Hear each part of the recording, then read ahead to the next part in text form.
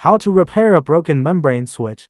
This is a broken membrane switch from one of our customer. You may find that this membrane switch is partially broken. The window has become incomplete. The button icon ink is also peeling off. In short, it is nearing the end of service life. Based on this sample, our team needs to do restoration work for our customer. First, we will draw a production drawing based on the sample size and design features. After the drawing is completed, it is put into production.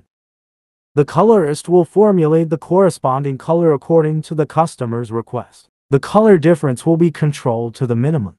Now it is the final membrane switch copied by JRPanel's team. The shape and window are the same as those of the sample. Icon complete and high precision screen printing. Overall comparison. If you want to repair a broken membrane switch or panel, then send it to JRPanel.